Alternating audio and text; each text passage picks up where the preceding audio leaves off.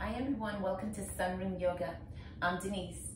I haven't posted in a few weeks because I've been busy playing tennis outside, and enjoying the outdoors.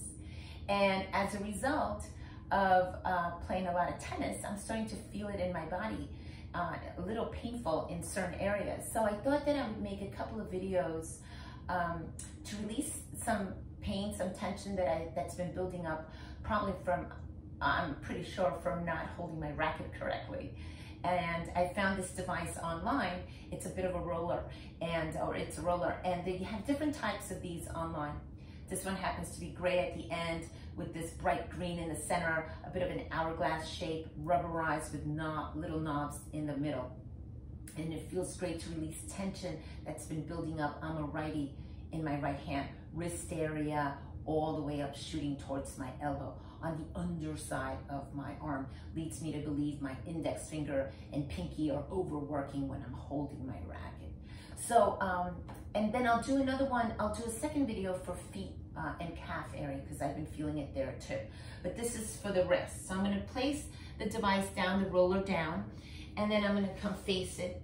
And I'll start very simply with just rolling my palms, my palm, that is, my right palm. That's the side that's bothering me the most simply back and forth, trying to get all my fingers as much as I can on the roller.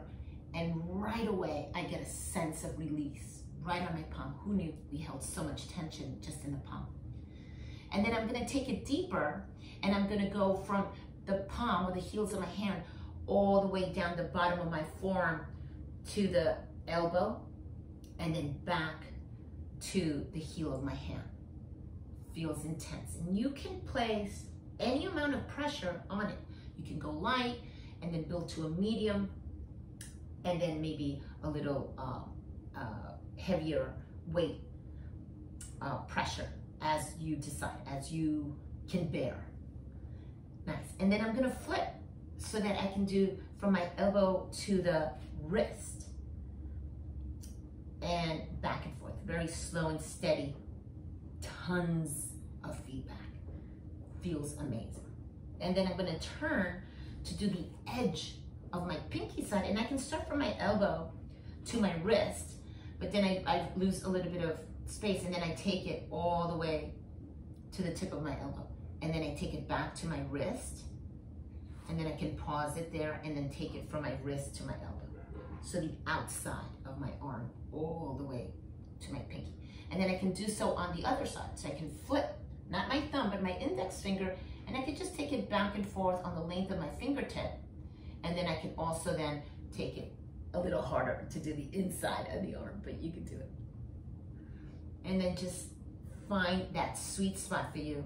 I'm completely now turning, rotating my entire arm on it. Almost at 360, not really, just three quarters of the way feels comfortable. Nice job. And then that's it. And I wanted just to share those little bits of tips with you. I hope that you find uh, this useful. And I will do a second part uh, focusing on feet. So I hope to see you for a longer uh, yoga class next time. I'm in the process of creating new videos. It's August now, August 2020, and uh, I'm getting back on the mat, trying to pull myself in, especially on this stormy day uh, we have a tropical storm upon us here in New York.